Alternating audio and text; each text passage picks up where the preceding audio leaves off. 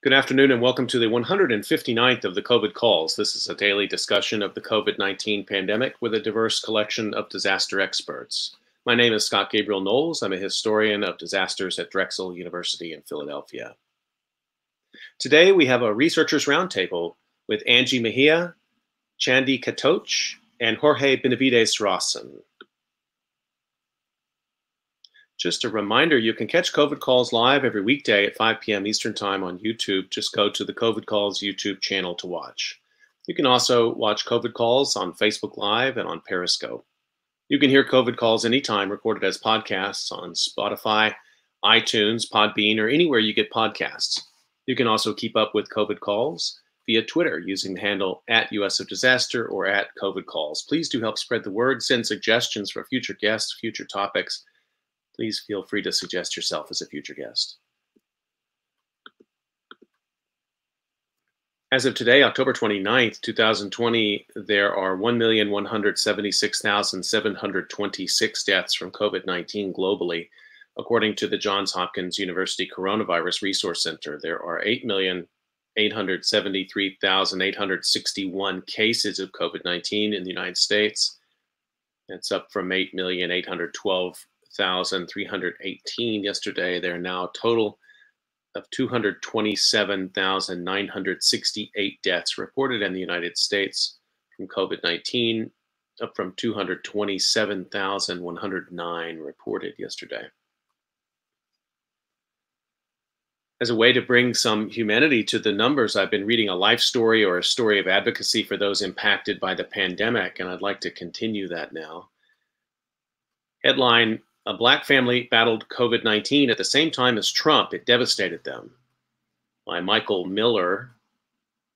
This was published October 28th in the Washington Post. Marine One landed on the White House lawn just before dusk. As its rotors came to a halt, the helicopter's door swung open and out stepped Donald Trump. The president had just spent three days in Walter Reed National Military Medical Center recovering from COVID 19 the disease caused by the novel coronavirus. And in a scene that would be set to dramatic music and tweeted to his 87 million followers, he climbed the steps to a White House balcony, took off his face mask, and recorded a video urging the country not to fear the deadly disease. Don't let it dominate you, he said into a camera on the evening of October 5th. We have the best medical equipment, we have the best medicines, all developed recently, and you're going to beat it. 30 miles away, Carlton Coates Jr. sat in an Annapolis funeral home staring at the casket that contained the body of his older sister. Carol Coates had battled COVID 19 at the same time as the president, but instead of a suite at Walter Reed, the 46 year old black teacher self isolated in the basement of her family's home. And instead of the experimental cocktail of antibodies that Trump was given, she received get well cards from her fifth grade students. Carol had taught nine miles from the White House, but her illness unfolded in what seemed like a different universe than the one the president described. Don't let it take over your lives, Trump said during his triumphal homecoming video. Yet for many people of color in the United States, the coronavirus has already taken the life of someone they loved. It would take even more from Carlton Coates. His phone buzzed during his sister's funeral, but the 43 year old truck driver ignored it. It was only when he returned home and saw people gathered in the driveway that he knew something else had gone wrong. As they stepped out of the car, his fiancee pulled him aside. I hate to tell you this, she said, but your mom passed away. Carol Coates and her mother, Dale, could hardly have been closer. They lived in the same house outside of Annapolis, along with Carlton and his fiancee. They loved the same music and colorful clothes. Carol draped her mother in jewelry Dale talked about her daughter so much that colleagues who'd never met Carol felt like they knew her. They were inseparable, Carlton said. The family had been vigilant ever since Maryland Governor Larry Hogan, a Republican, had shut down much of the state on March 12th, the same day Trump insisted the pandemic was going to go away, a claim he has made dozens of times. By then, a member of Carol and Carlton's congregation was already sick with COVID 19 and would soon be put on a ventilator. Within a few weeks, a couple connected to Dale's church would die of the disease. As the saying goes, when white folks catch a cold, black folks catch pneumonia, said the Reverend Stephen Tillett, Dale's pastor at Asbury Broadneck United Methodist Church. The Coates family feared the virus, especially because Dale's 74 year old fiance and her 84 year old mother also lived with them. But with four members of the household going to work throughout the pandemic, they wouldn't be able to escape it. They depended on their parents for everything. Then the virus took both. Dale was one of the two black receptionists at a predominantly white retirement home called Sunrise Senior Living in Annapolis, where the 66 year old was known for having a personality as bright as her outfits. She was a very jolly person, always smiling, recalled Carolyn Muir, who left Sunrise in 2018 to return to her native England, but not before Dale introduced her to the wonders of go go and gospel.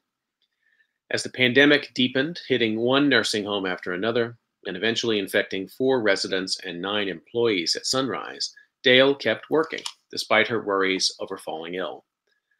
Sunrise Senior Living said in a statement that it has been vigilant in preventing the spread of the coronavirus, giving employees masks and other personal protective equipment. Carol hadn't gone into Adelphi Elementary School in Prince George's County since mid March, but she still spent hours each day in front of her computer, making sure her fifth graders, many of whom were English language learners or in special education, had access to the internet and course materials. On September 24th, her students emailed her get well cards. Dear Miss Coates, I hope you feel better, one girl wrote next to a cartoon drawing of a teacher in front of a chalkboard. We miss you and hope to see you next Monday. Friends and family members left food at the top of the basement stairs, including bottles of her favorite orange juice, Florida's Natural. Two floors up, Dale was also struggling. She had long suffered from arthritis and carpal tunnel syndrome, her son said, but now she was so exhausted she could hardly get out of bed. She too had tested positive and stayed home from work. Her fiance, Ernest Davis, brought her food and slept on the floor next to her bed. On Sunday, September 27th, Dale was so weak that Davis called 911. Her family watched from a distance as she was loaded into an ambulance and taken to Anne Arundel Medical Center. Stuck in the basement, Carol couldn't even say goodbye. Carlton was at work that afternoon when he received a worried call from Wilson, who hadn't been able to reach Carol. Carlton dialed his 15 year old daughter and asked her to check on her auntie. But when the teenager shouted down into the basement, there was only silence. Carlton told her to put on a mask and gloves and then watched on FaceTime as his daughter descended into the basement and looked into Carol's bedroom. I just saw my daughter's face, he recalled. She just peeked in there and then ran back upstairs, kind of traumatized. For the second time in as many days, an ambulance pulled up to the house with blue shutters, but this time there would be no trip to the hospital. For three days, Carlton struggled to sleep and eat while making funeral arrangements for Carol, when he and Juanette went back to visit Dale on the evening of October 1st, they found her oxygen tube had been replaced by an oxygen mask. A doctor warned them that her oxygen levels were still dangerously low. When Dale spoke, however, she seemed upbeat. She was praising and worshiping God, lifting up her hands, Carlton recalled. At one point, he and his mother sang Carol's favorite gospel songs through their masks. But when he called to check on her the next day, a nurse told him that Dale was being put on a ventilator. I love you, he told her over the phone. Be strong, hang in there, I need you. By the time the president was released three days later, feeling, he said, better than 20 years ago, Dale and her daughter were both dead.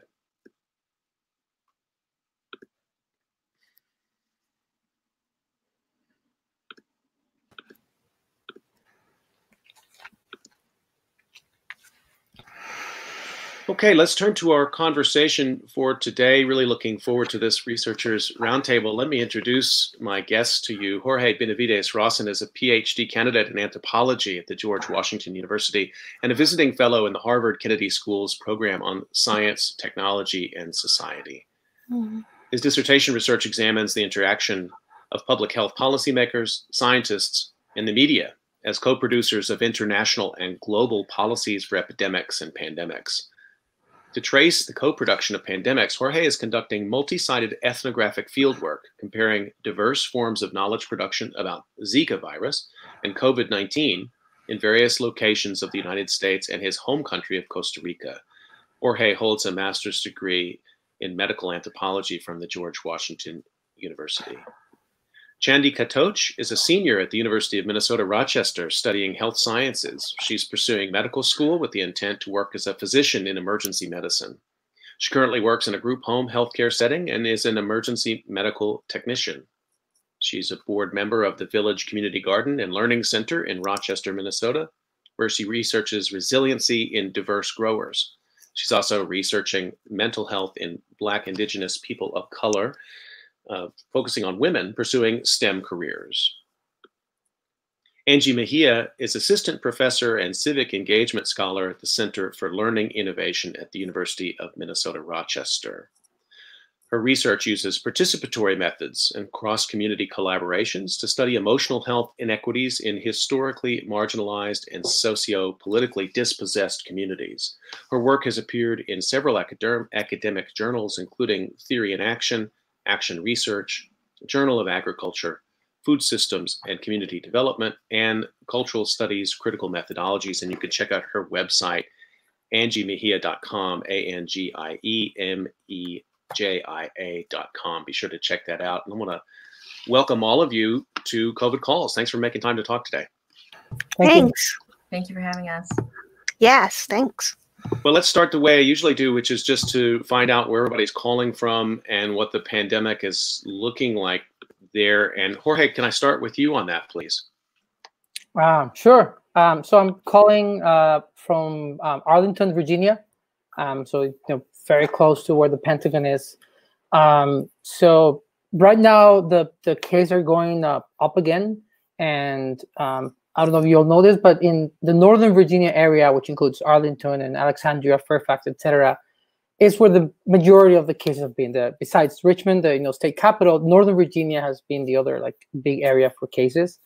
Um, right now, the, the people live in Arlington, this area, a lot of people live here. It has a lot of uh, professionals who work in development, government agencies, defense, you know, researchers, lawyers. So the population in my very close area, most people or a lot of people have been able to transition to, to their works from home, etc.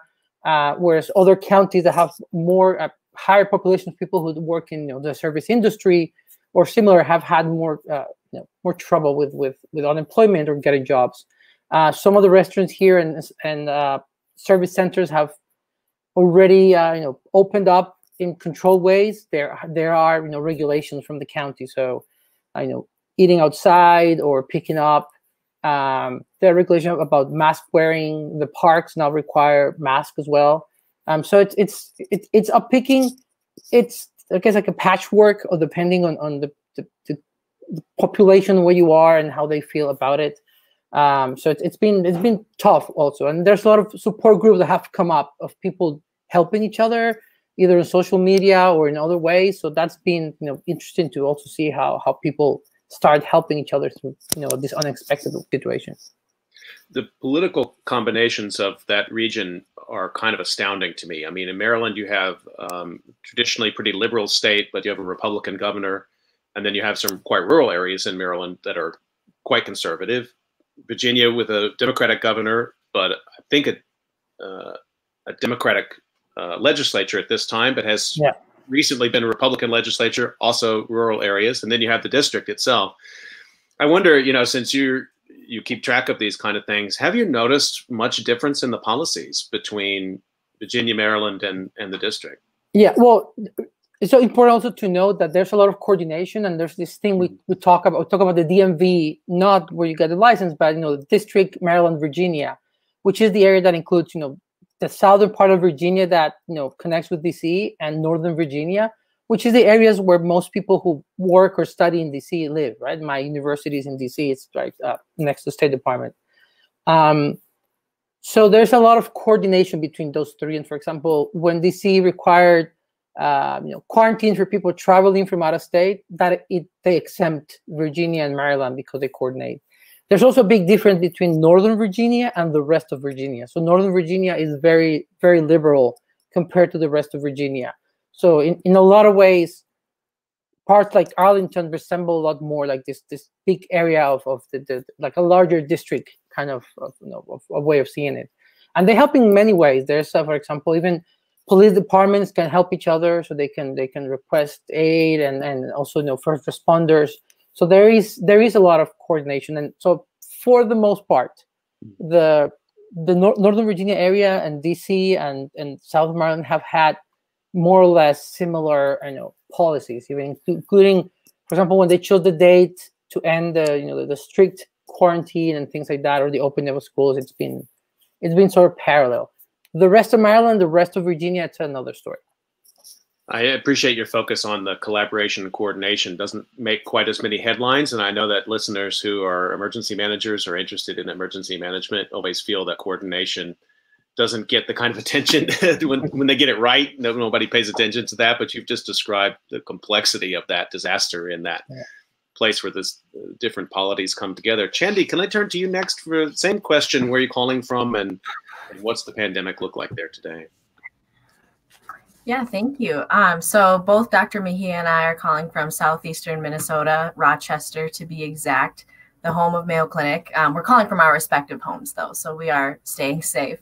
Um, and as of today, there are uh, 3,400 cases of COVID in Olmsted County, which is where Rochester is. And Minnesota has just over um, 139,000 positive cases. So we are seeing an upward trend right now, about 2,000 new cases per day. Um, and I think that's largely impacted by our surrounding states. So we have North Dakota, South Dakota, Iowa, and Wisconsin surrounding us, and they're all seeing some of the worst um, epidemics and pandemics that they've seen, outbreaks that they've seen in the past few weeks. Um, so we're starting to be affected by that. Additionally, um, Donald Trump is coming to Rochester tomorrow. Um, he's going to be having an event just outside of Rochester, about 16 miles from the University of Minnesota, Rochester. Um, and according to some local city council members, it's expected that there will be 25,000 people in attendance at that rally. So that might be a super spreader event, and that could definitely impact our number of positive cases. Well, I presume the president has access to polls that I can't see, but I don't know what he thinks he's doing coming to Minnesota at this stage. Um, that situation you're describing sounds like a really pretty desperate one. Let me ask you a follow up of that because um, that geography you're describing is a, is an interesting one. is the surge of cases in the surrounding states being felt in the health system in Minnesota as well?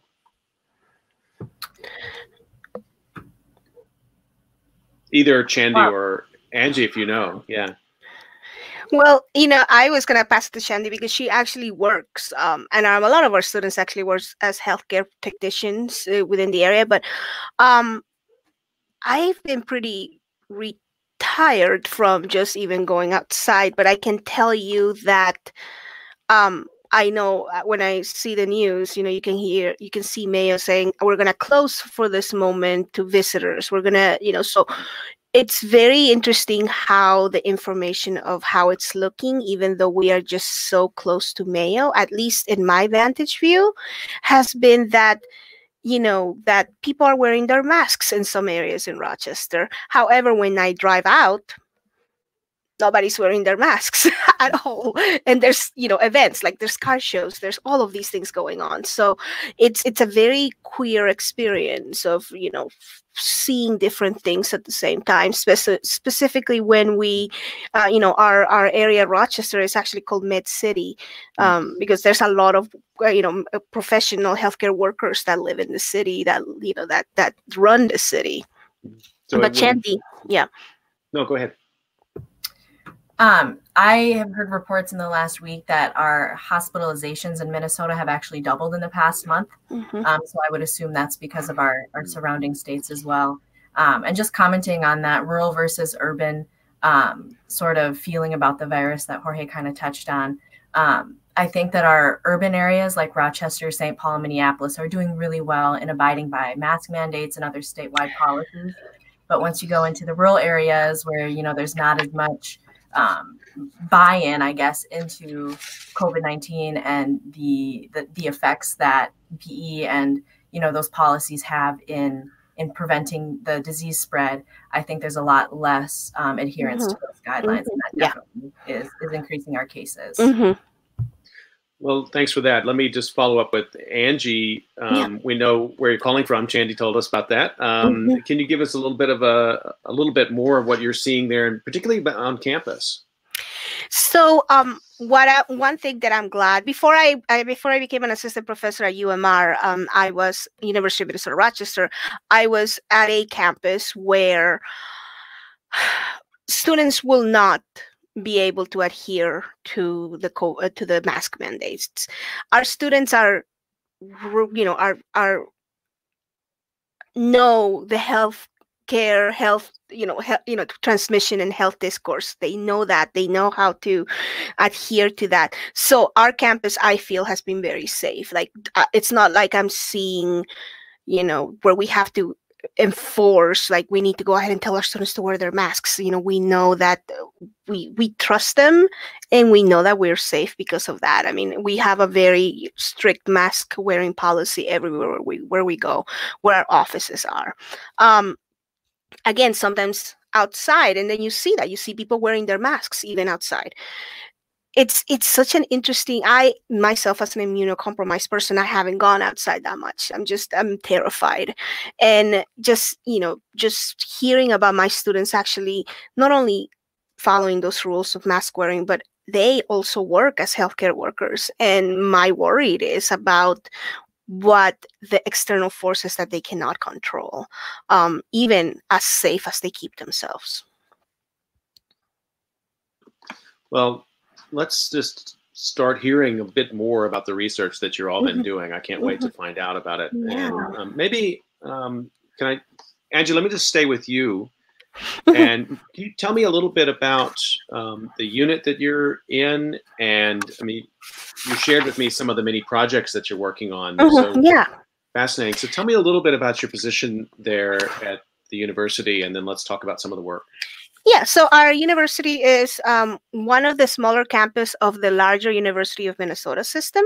Um, we are a health science campus, so our students are all undergraduates. They all have one major, health sciences, and and um, and that's it. There's no minors. There's no uh, what I call counter spaces. Like when I was an undergrad myself, I had the counter space of like I don't like biology, so I went to anthropology. Um, and uh, many of them end up either doing internships, research, working in Mayo, or in other areas of healthcare.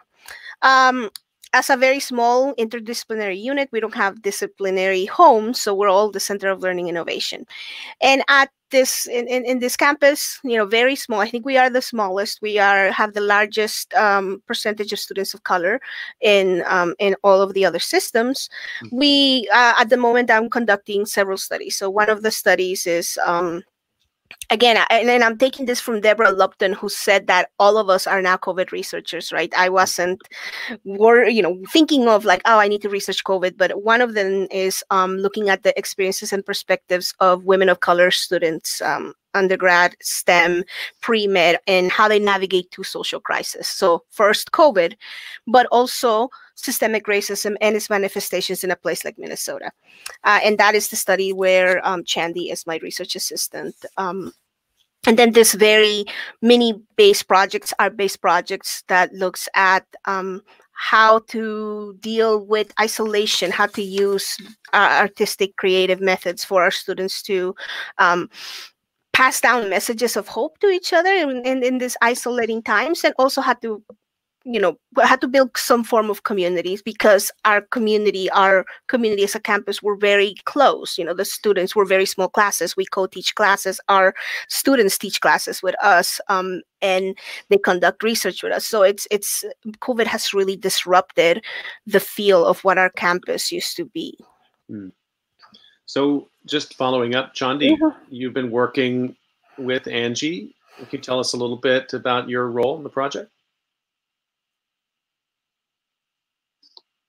Yeah, thank you. Um, so within the project on um, researching the emotional and mental health of uh, Black, Indigenous, and people of color women in STEM, um, we've been just starting now to conduct um, community conversations with small groups, small focus groups uh, of these students to kind of get a feeling of what what I what ideas they have of you know what is stressing you out. Is it is it you know things like social justice and George Floyd? Is it COVID? Is it um, you know quarantine fatigue? What is stressing you out right now? Um, and then from there, we're going to be moving on into more individualized interviews where we can ask more specific questions to get a, a better notion of the mental and emotional health of these women, um, specifically acknowledging that they are women of color in a STEM career, which is traditionally a white male dominated field, and how that is also affecting their emotional and mental health.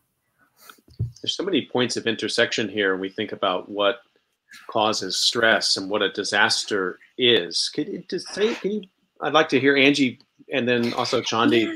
just how you even begin to engage that conversation? Like you ask oh. people, how are you feeling about what it means to go into health sciences in the midst of a pandemic. I mean, I often find it where these disasters have all aggregated in such ways that it's hard to even know where to begin the conversation. I feel like Angie, can I ask you that first, and then Chandi? Yeah, yeah, yeah. So interesting enough, like I said, we all have become COVID uh, researchers, right? And for me, the the summer where I was supposed to be, you know, doing what a first year professor supposed to be doing working on their book became a way of uh, i had to provide support to my students of color. Because uh, after um, george floyd more of the asks for support was like trying to navigate a place that was dealing with the national spotlight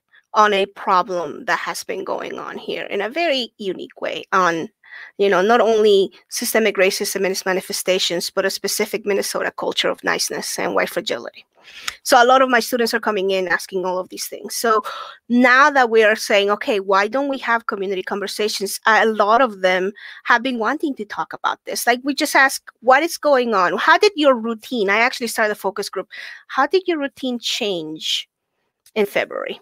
Tell me a typical day in February. How did it change? And most of the time, it goes from there. It goes from there about, you know, having to deal with the additional stressors, seeing those additional stressors once the spotlight on race, racism, and racial tensions in Minnesota happens. Um, I don't even need to have a research schedule because a lot of these conversations go along those ways of needing the space to talk, needing the space to be critical about what's going on, and needing the space to understand how to navigate it.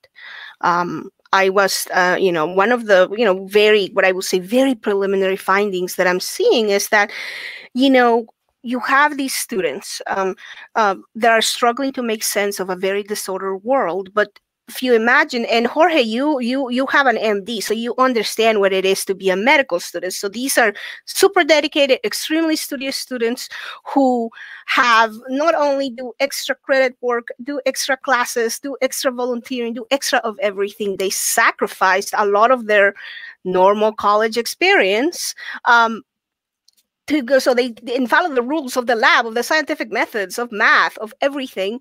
And then they go into a world where scientific knowledge scientific denialism is now driving our political realities. So you know they they experience this very weird sense of anomie. And i'm gonna you know forgiveness to the scientific non-social scientists out there. So anomie is this sense of normlessness where society's rules and you know our our our, our processes have been thrown in a state of chaos and people can't make sense. So there's this sense of uncertainty just, you know, puts people in a powerless position and, and creates all of these stressors.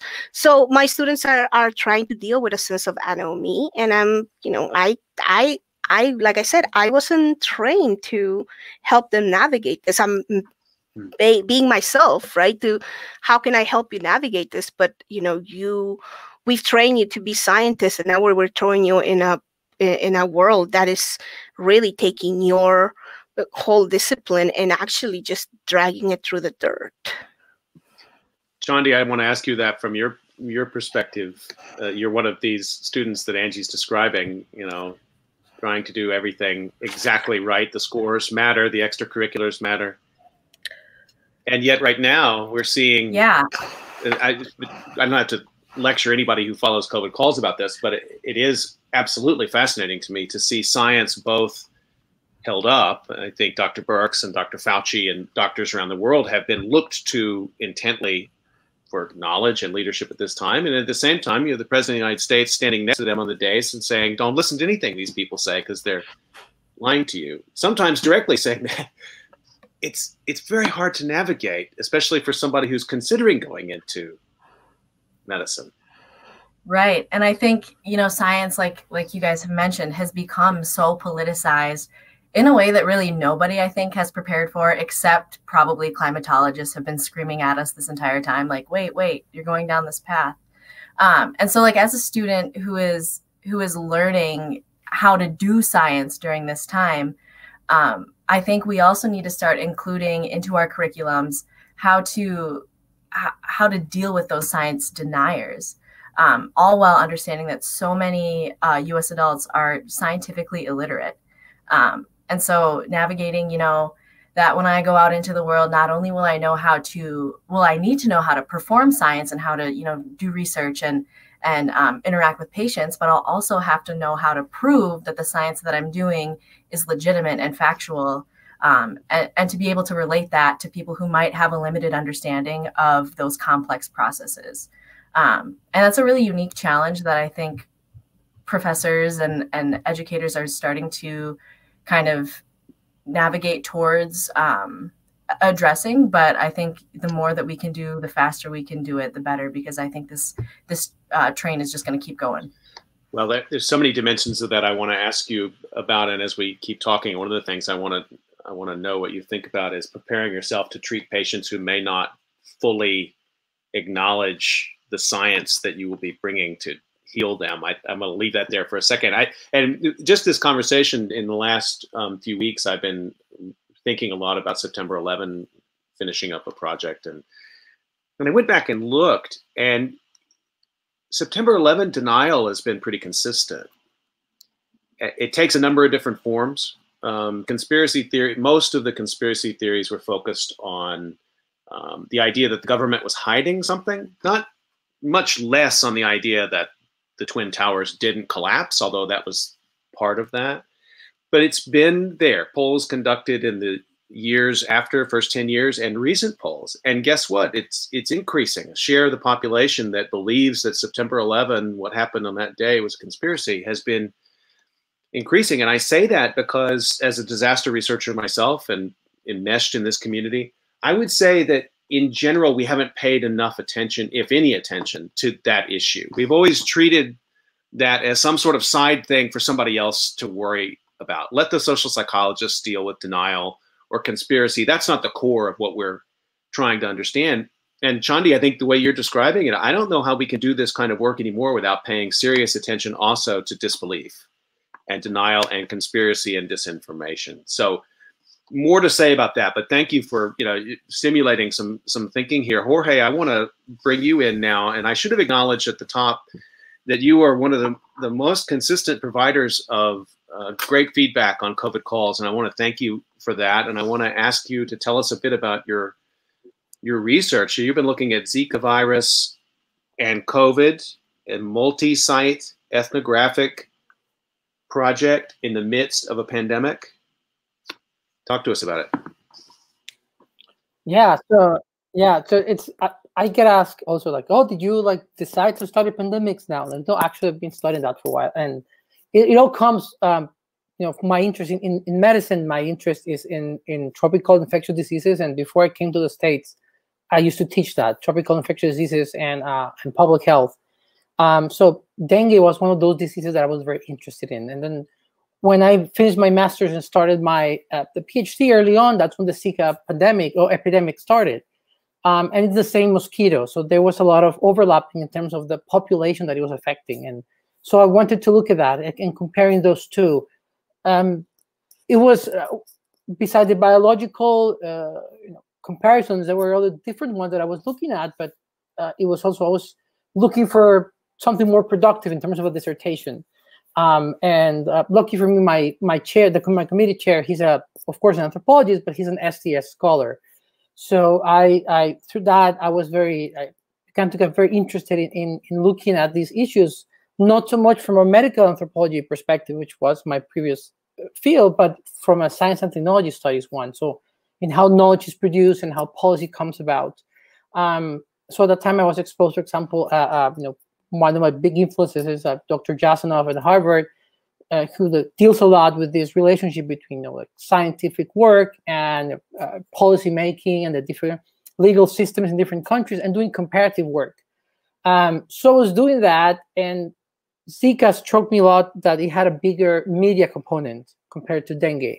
Right? The images of kids with microcephaly, how it was creating a sort of like imaginarium in the public. Um, even you know, the of pregnant women who got infected, about seven percent uh, would have kids with microcephaly. But if you ask people who read the news, they thought that it was you know almost certainly that you will have it because that was sort of the the perspective they were getting. So I, I the first question that came to me was I don't think the in this case media is just a messenger, right? There's more to it, and then that's how I at that time I got exposed to you know Neil Postman uh, and entertain us to death and looking at just media as epistemology and that concept you know sort of like blew my mind. Um, and then more recently, an anthropologist, uh, Charles Briggs, uh, who's at Berkeley, and Daniel Hallin made this great book that's called "Making Health Public." Right, so not making public health, but making health public and he uh, and they look at how media coverage of you know, health news sort of actually shapes medicine and public health work, etc. Um, so I thought about mixing them said, you know what, I, I don't think it's enough to look how scientists and policymakers sort of influence each other. I think it's more of a triangle thing, and I should put media there at the sort of same analytical level with the with scientists and policymakers and look at all those. And while I was doing that, of course, COVID came about. So I had this talk with my advisors, like this is this is evident, it's what's happening, and it's it's more productive. Um, and it's so now if I want to really use study media part, then Zika and uh, sorry Zika and COVID comparison makes more sense than than dengue. Um, but I still had my connections and policy-wise, Costa Rica and the United States are very different. Um, so it's, it's a good for comparison. You know, Costa Rica has a universal healthcare system. Um, there are certain laws uh, exceptions that cannot be used. Costa Rica has no military, so for example, uh, there's no martial law that's in our constitution. So the they have to go about things in different ways. Um, so it's very productive to compare.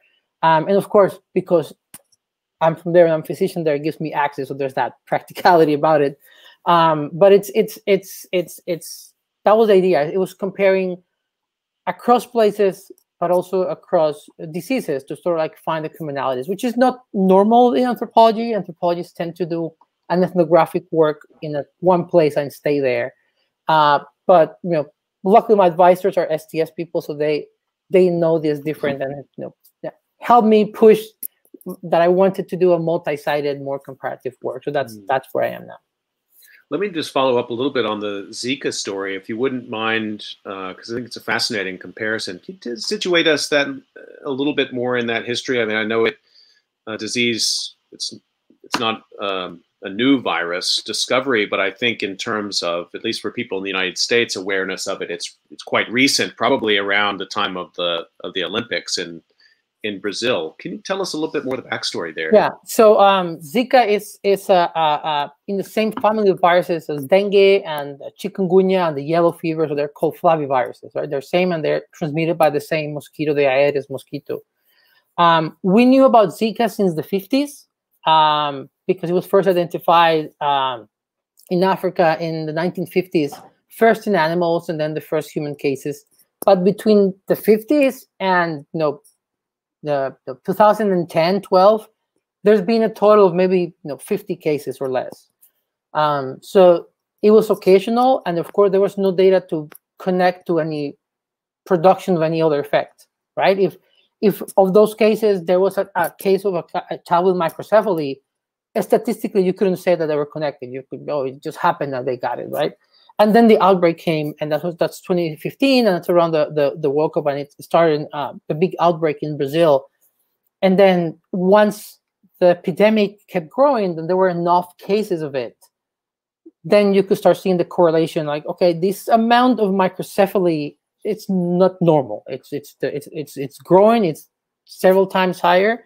Um, first, it was just you know a correlation, and then they started trying to to prove it Um, and eventually they did find the, the mechanism, but they did the um, here.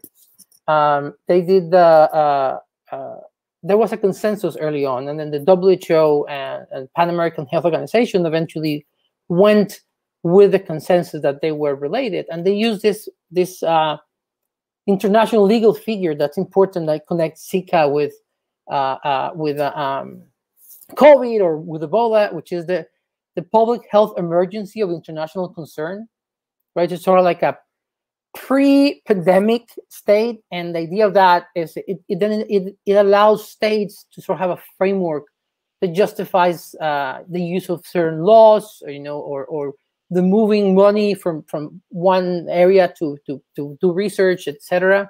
Um, and so that it was deployed for Zika, um, and they, they needed to they use that consensus and the the, push of media, uh, sort of like pushed PAHO and WHO to, to give that out. So that was the, that's the you know the Zika context, and it did not become a pandemic. It didn't go worldwide. It was mostly restricted to the Americas. It was it was an international epidemic, and um, you know it dwindled down. There's still sporadic cases, but you know it's still a lot of research going on, trying to see if it's going to spike up again.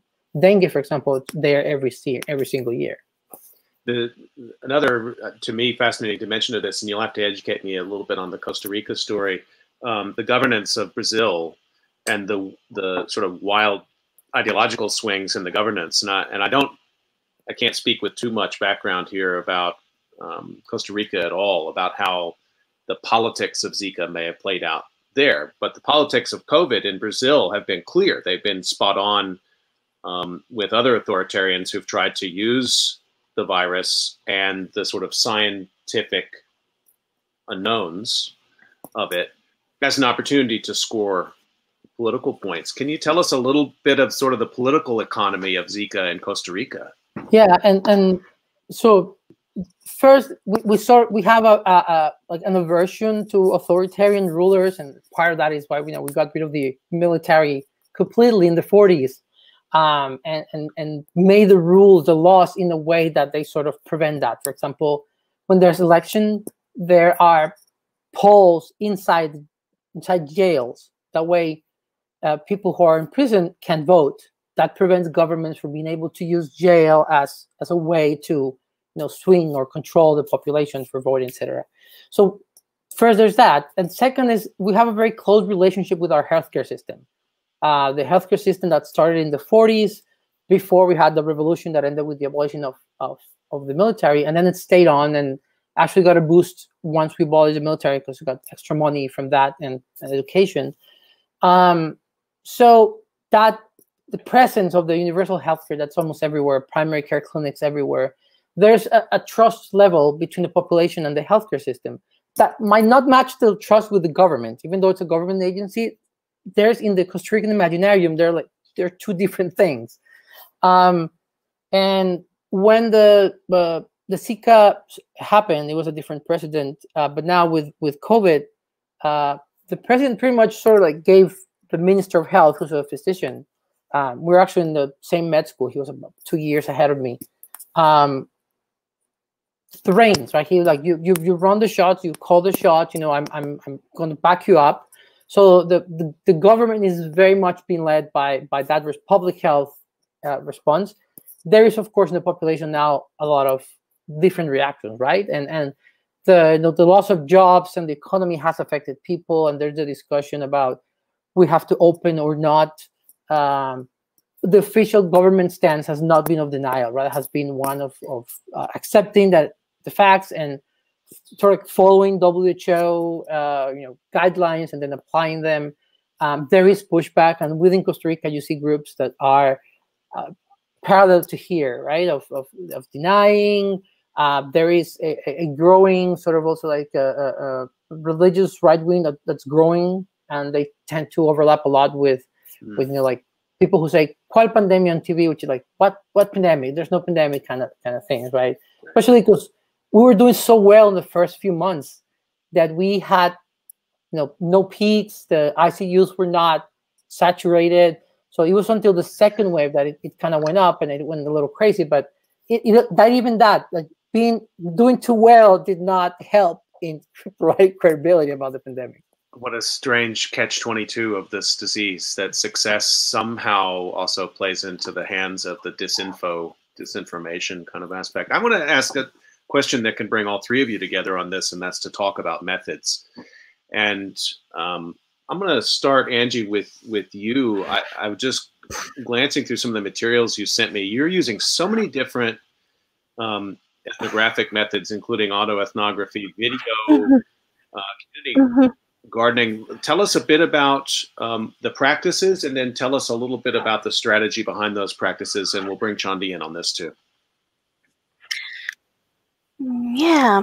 So um, autoethnography, that was an interesting use of um, what I will say pandemic pedag- pedagogical thing, right? Meaning it's we were supposed to be working at a community garden collecting mixed methods research on resilience, mental health, and refugee and communities of color that are growing their own vegetables and their own produce. Um, the pandemic comes, and obviously everything comes to a stop. And um, my students are here.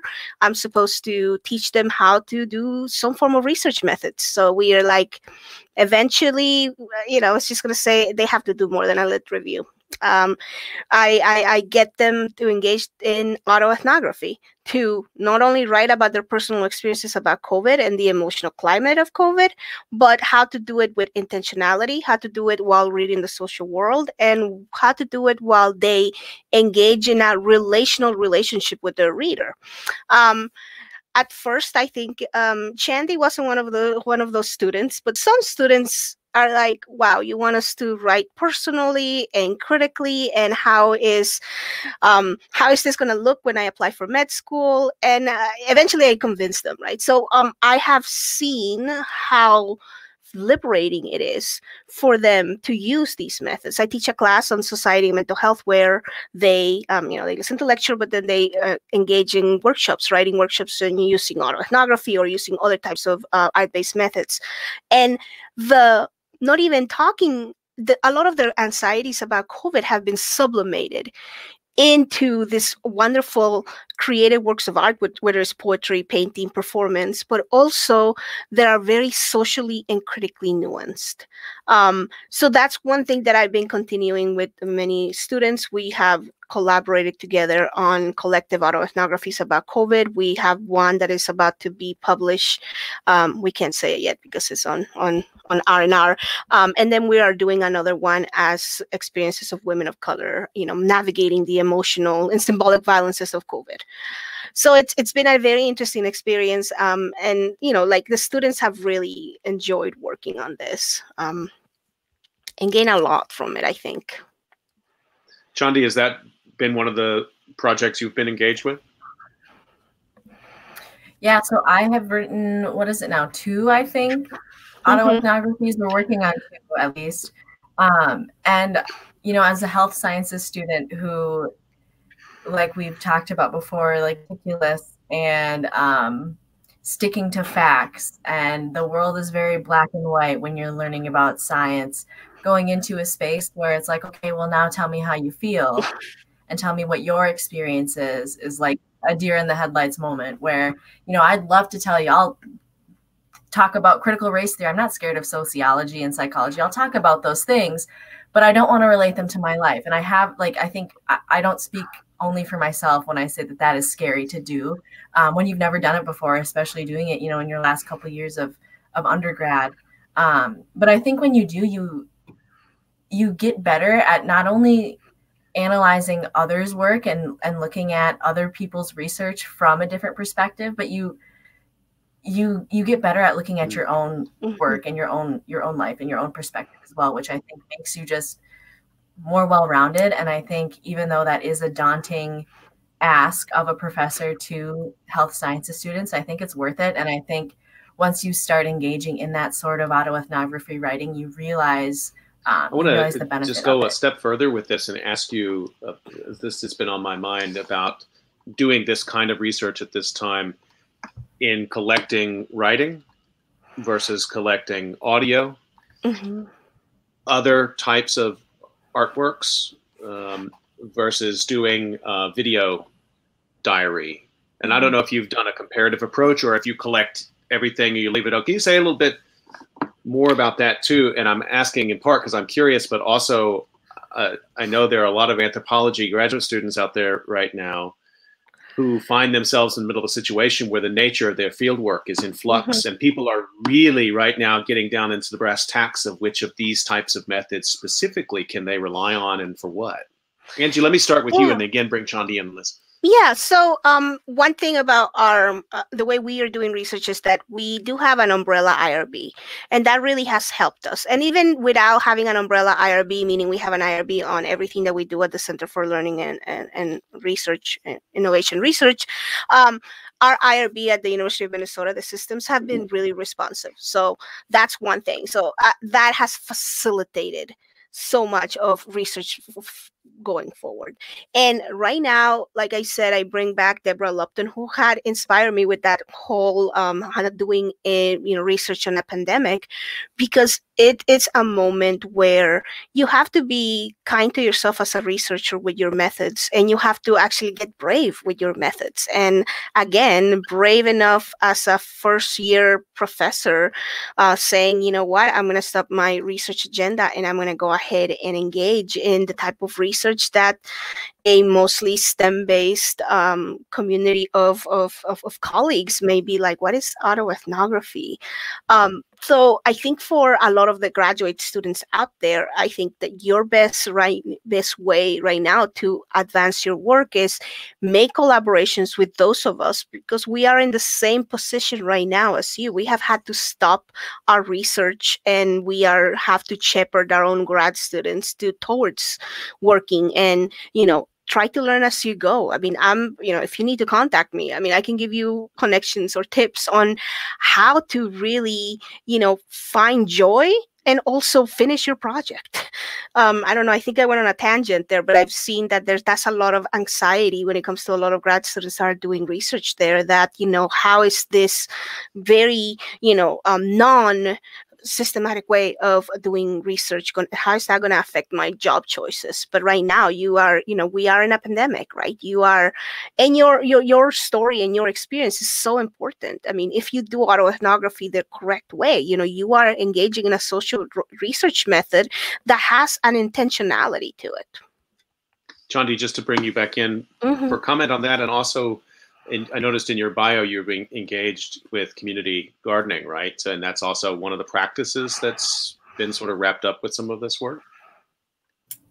Yeah, I think we definitely had to pivot some of our research, especially with um, the community gardening, because we're working with a lot of um, elders and older folks, a lot of whom don't speak English. And so it's, I can't just head out to the garden and start interviewing them face to face. It's navigating the language barrier. Um, if we were to have, you know, any sort of technology and use, making sure that they're literate in that technology and able to use it, um, but then also involving translators and things like that. So it's definitely changed.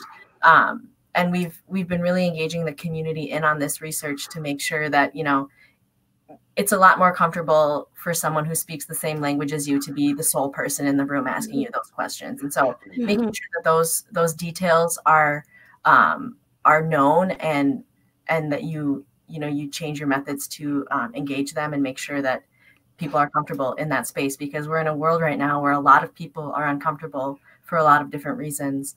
Um, and i think that's another reason why incorporating artwork and writing and not just zoom calls into how we do our research is important too because every i mean everyone gets tired of zoom calls. I get tired of them I don't want to spend all day in class and then go and be a part of some research where I'm sitting there in front of a camera talking again for another hour sometimes. So um, this obviously excluded, but um, I, I, think that uh, changing those methods and, and engaging other forms of um, engagement within um, social sciences is really important. I, I, appreciate what you're saying about the the Zoom call. And one thing I've noticed, it, it it's not original to me, um, is the degree to which people seem to be signaling their dissent against the Zoom call, and sometimes by having the camera off or on. But I've noticed that the backgrounds have gotten a lot more creative, or sometimes very, very spare. Um, and I feel like there's things being communicated in the Zoom call that go beyond the sort of communication of the Zoom call. I don't want to read too much into it, but if I was doing ethnography of Zoom, I'd be paying a lot of attention to the uh, to the overall context of those calls. Jorge, I want to bring you in. There's a lot of creativity being discussed here right now about methods. Tell us a little bit about what you've been doing.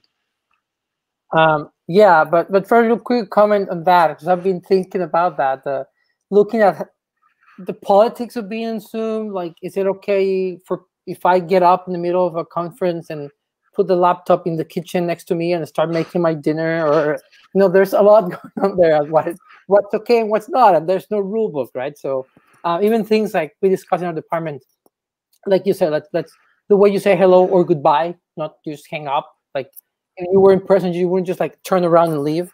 So those things. But um going back to their own research i think it's, it's been a challenging time for uh, social science researchers especially those of us who rely more on mm-hmm. ethnography because mm-hmm. it's, it's a face-to-face right uh, thing it's not uh, if you're doing more survey-based research it's it's still complicated but there are ways to go about it um, but you know doing participant observation for example which what you, was going to be a bigger part of my research spending time in, in policymaking organizations where i would just pretty much go volunteer hey can i work here for a month for free and exchange you know you acknowledge that I'm doing this research and you like me, you let me take notes.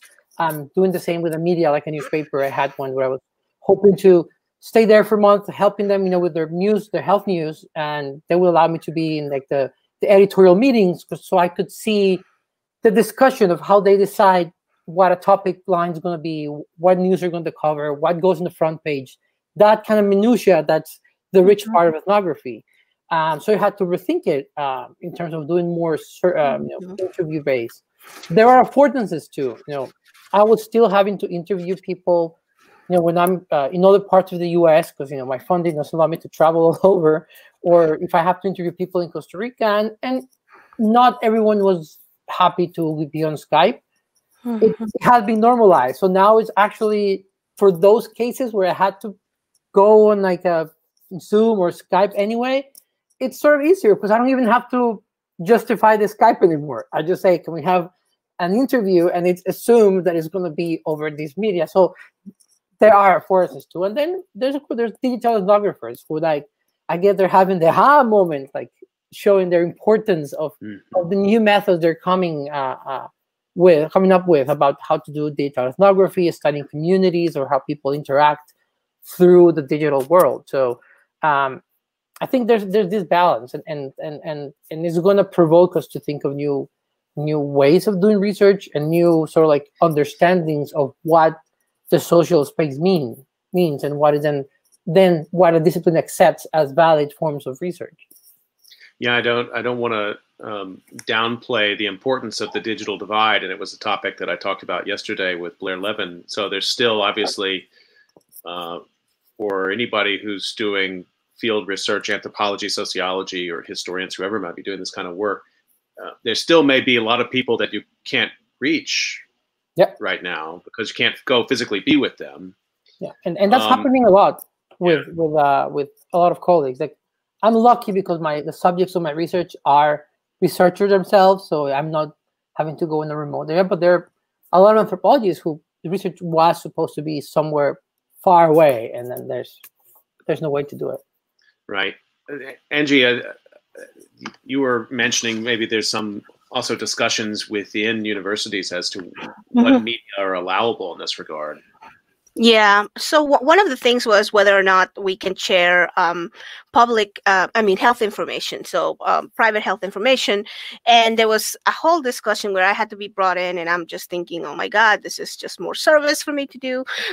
but um, what you know, it's like, can we use WhatsApp? And I'm thinking, why did you bring me into this? And they're like, well, because we're working with, and this is another researcher, um, we're working with Latino um, uh, groups and stuff like that. And they are, you know, they, they have technology, but they're, they don't want to use Zoom. I'm like, so what do they want to use? WhatsApp. And I'm thinking, you know, it took, it took my Mexicana grandmother 10 years for us to go ahead and get into using text and then using WhatsApp. I think you need to find a way around that because you are mm-hmm. going to reach the community via WhatsApp. You're not going to go ahead and reach them via Zoom, right? So um, I just said like it's as simple as that. You're gonna have to go if you want to search, if you want to go ahead and reach this community for whatever public health thing you're doing. Um, you're gonna have to deal with IRB. I don't care about the technology, but you're gonna have to go ahead and really adapt to their needs because you know this is how you're gonna get that 75 year old Mexicana Americana in Chicago, Illinois mm. grandmother mm. to actually do your survey. So right. um, you know, it's like that's it. Right. So it's I think it's a lot of like, you know, um some universities are very good about, you know, doing that type of you know, let's find out. And some others are like, no, that's it. We only use Zoom and only through our channel. Jorge, did you want to come in on on that? Um, yeah, so the WhatsApp thing is very big in Latin America, and also itself a point of study. You know, and when you look at Brazil, for example, the the the the, the disinformation uh, right. uh, campaign uh, with Zika now with COVID, the majority of it, both in India and in Latin America, has been through WhatsApp. Um, and looking, for example, how then some people would make uh, PDFs or images that look like official documents, but they are missing. That's what the uh, you know the infodemics is what they call it, right? The the the, the epidemic of misinformation. And WhatsApp is it's very important because as opposed to social media where like let's say Facebook can go and ban stuff, it is a person-to-person communication. So in good theory, they if they're not reading my text, they shouldn't be able to block what I send. So things that are sent there are harder to control uh, as you could like block you know someone's tweet deleted or deleted facebook they just spread like wildfire and and they have to be used and in a lot of places people don't have computers but have cell phones and then whatsapp becomes the one. And you know things like uh, the political economy of it where whatsapp will like have a deal with a local phone company where maybe your data is limited but your whatsapp messages don't count. So there's all these uh, different parts of it that, that we need to understand uh, and not you know put certain uh, uh platforms to the side. Rather understand what is used in a particular place and culture and just go with it. I just want to remind everybody that you're listening to COVID calls. We're having a researchers roundtable today. I want to circle back to maybe some of the themes that we had on the table earlier around the way that scientific authority is is being cast in different um, national and subnational spaces right now, but also the place of physicians and future physicians in that discourse. And Chandi, I want to bring you back in, I left a question kind of hanging in the air a little bit earlier about the the stresses of people in the health sciences and particularly maybe students in the health sciences, knowing that they're going into a time in which the authority of the physician is unstable, perhaps, or negotiable, maybe more than it has been. Can you say a little bit more about some of your thinking and some of your findings along those lines, particularly as a future physician yourself?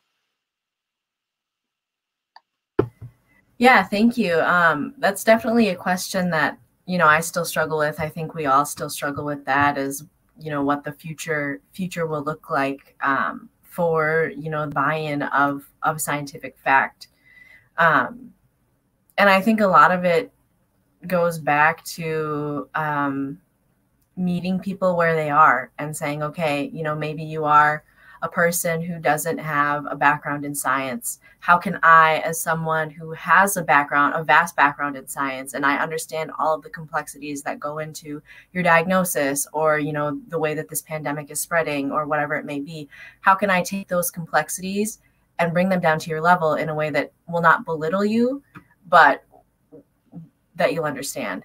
Um, and I think it's a careful balancing act of doing that because people want to feel validated and they want to feel heard. Um, and and where you know as as scientists and you know future doctors and and researchers um, we need to validate them but also stick to the facts and say well no you're wrong here um, but if we can't back that up it's going to be heard on you know deaf ears so well, I don't know. It's a difficult concept for sure. It, it is for sure. Let me stay with it because I had a, a, COVID calls episode very early on with Peter Chin Hong, who's a physician in the University of San Francisco, and we were talking in the midst of the of the George Floyd protests, and I was asking him. And you may remember there was some kind of uh, dust up there about whether or not physicians and public health uh, officials should be or should not be condoning protest. And Peter said, I have no problem with it because structural racism is a comorbidity. It, it causes death. And he was so clear in his statement and, and was so impressive in the way he said it. And of course, then he talked about harm reduction. He said, so people are going to protest. I'm not there as a physician to tell them how, when, or where, or what to think, but if they're going to do it um, with this larger goal in mind, and he got into very sort of granular like advice that they were giving to protesters. I just I kind of want to bring bring you back into that into that space because that's really where medicine meets the streets right now, isn't it? Right. I mean, literally, it's meeting the streets. Um, and I think part of the difficulties with students right now is that it's it's hard to find that blueprint of you know some researchers researchers will say yeah you know you should be out there you should be advocating and others are still you know dealing with their own white fragility and the systemic racism within healthcare um, and they aren't ready to have those conversations. Um, there are definitely also other forms of social oppression that are impacting that and so you know students are needing to learn how to be activists right now in these times. Maybe you know not five years ago when you just take to the streets but how do you do that now um, in a way that will protect vulnerable communities um, but also change a lot of systemic oppression and racism within a system? Angie just give you a chance to comment on this because this is obviously one of the findings i guess you're coming up with here. Yeah yeah and how do i protect them? And how do they protect themselves as i mean specifically for our our findings on women of color in stem and the medical sciences?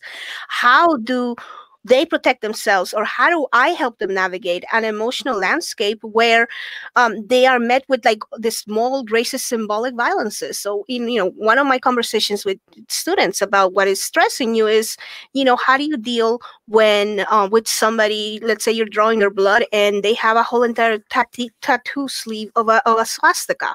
What is my role as a professional here?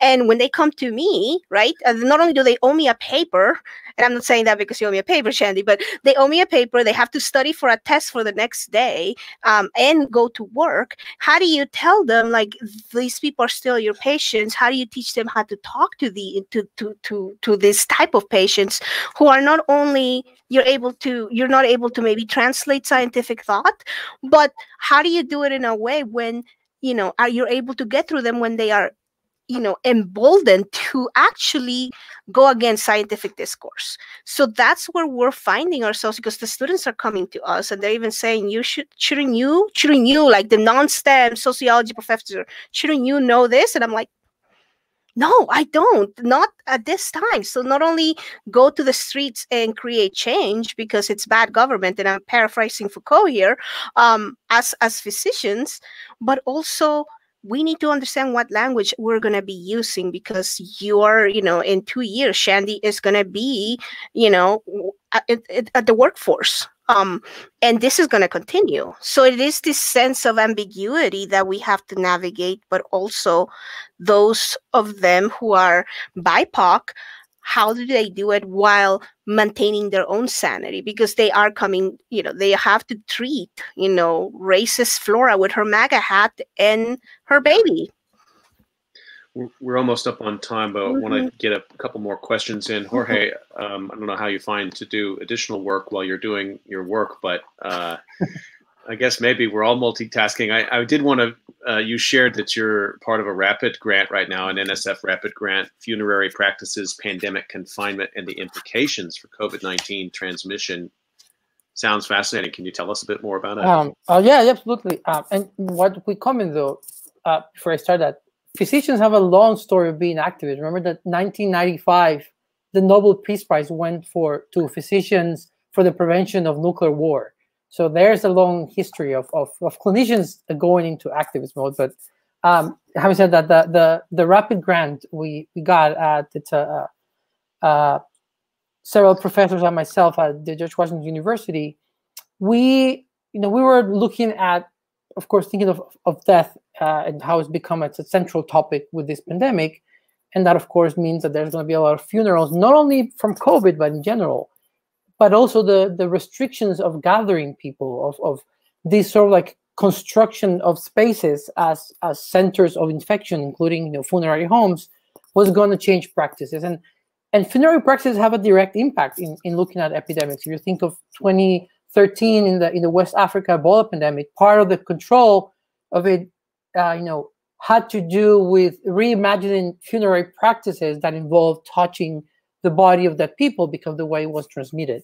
So, so it is an important. It's not just the curiosity of, oh, I want to know what funerary practices look like, but it's because they have a direct impact on, you know, how a disease spreads and can be used also for future policymaking. And in a place like the United States, especially DC, where there are also many different religious groups, so there are different practices that adapt in different ways. So we want to know how uh, you know people from different religious backgrounds are sort of like adapting and negotiating how they do this uh, you know the new way of doing funerals on Zoom and who gets to go if only a few people can go and then how they invite the rest. Do they do it live? Or they do an event after? So the way we're doing this is uh, we try we can if people let us invite us to be in a, in a funeral. We attend it. We interview people we're taking um, surveys. So if anyone wants to participate, we have a website. It's called ritualsinthemaking.com. Um, so um, everyone's welcome there to take our survey. And if they want to participate, we can then follow up and do an actual interview.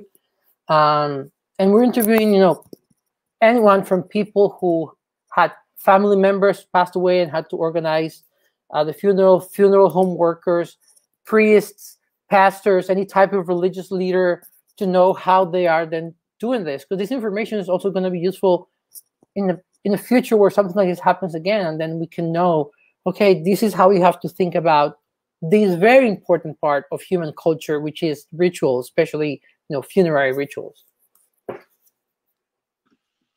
I'm to give chandi or angie a chance to ask you questions about that because I have so many questions, but I, I don't want to hog the mic. So, um, Chandi or Angie, what do you think about that work?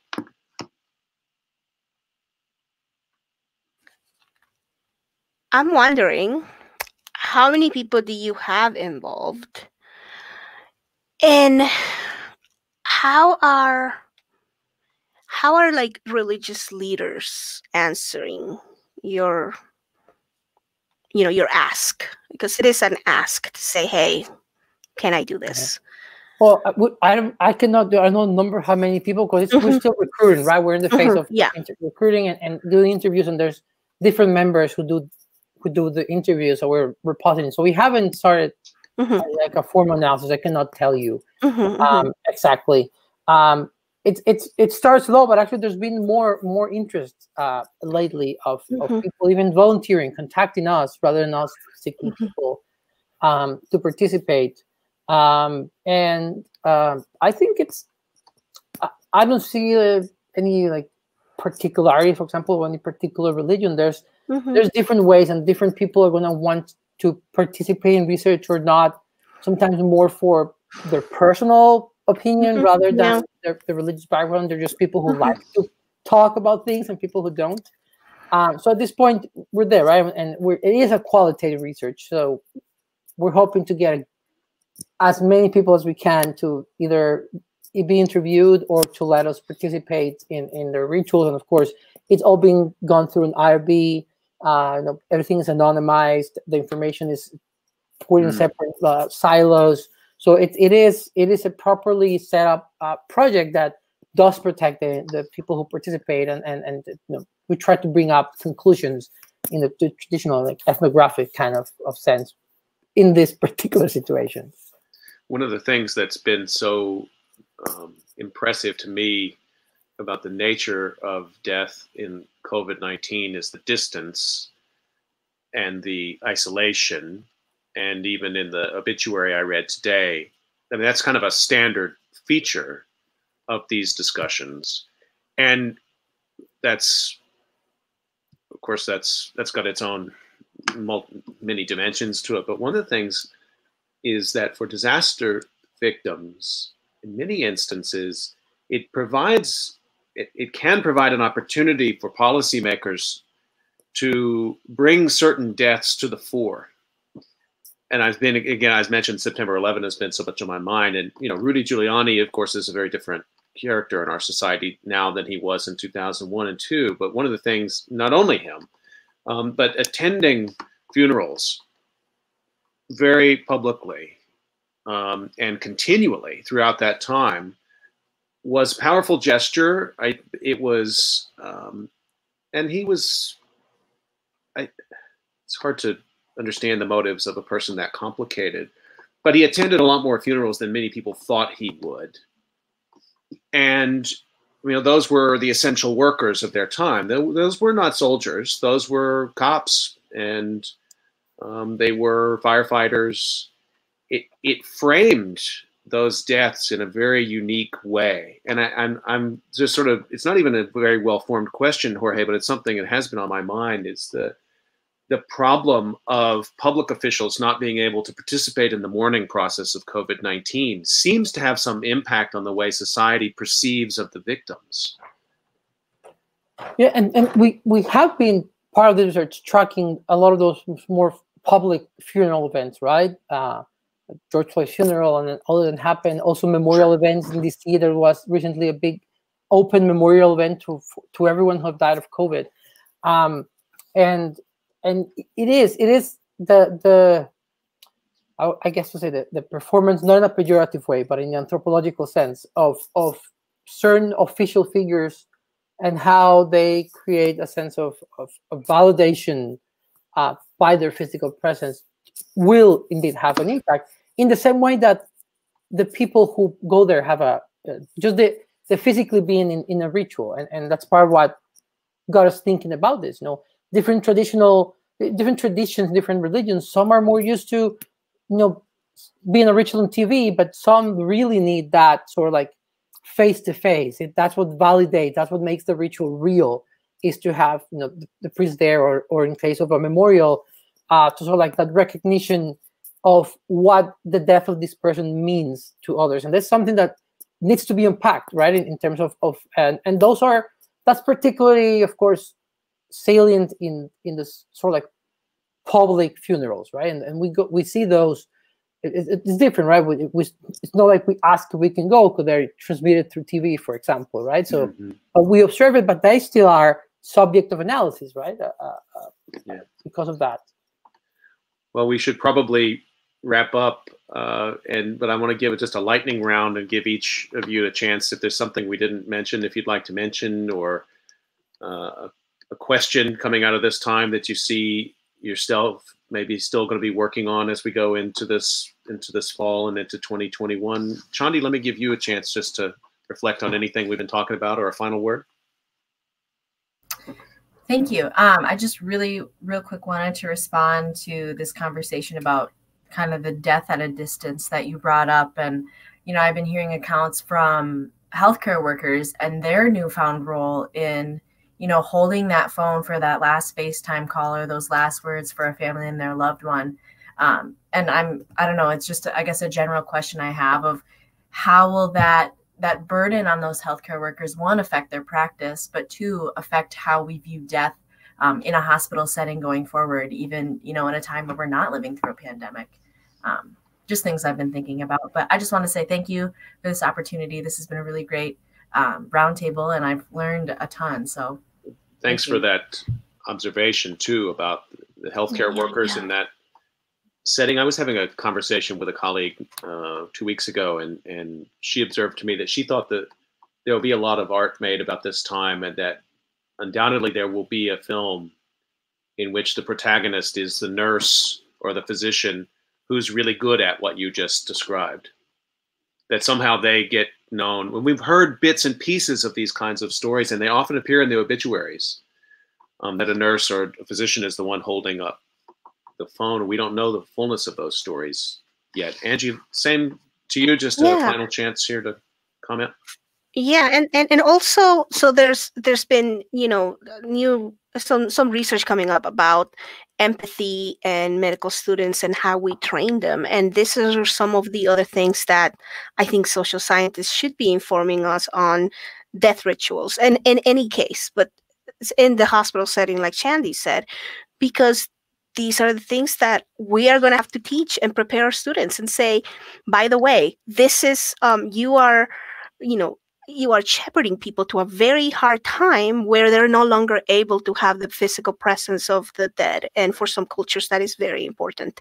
And how do you do it? And how do you do it in a way that is actually going to go ahead and keep you in uh, uh, uh, uh, with the least harm possible for you so you can continue? Because obviously, you are going to see this every day. You're going to have to be doing this every day. This is going to become standard practice yeah, thank, thank you again for this opportunity. It's been so wonderful. I've learned so much from all of you.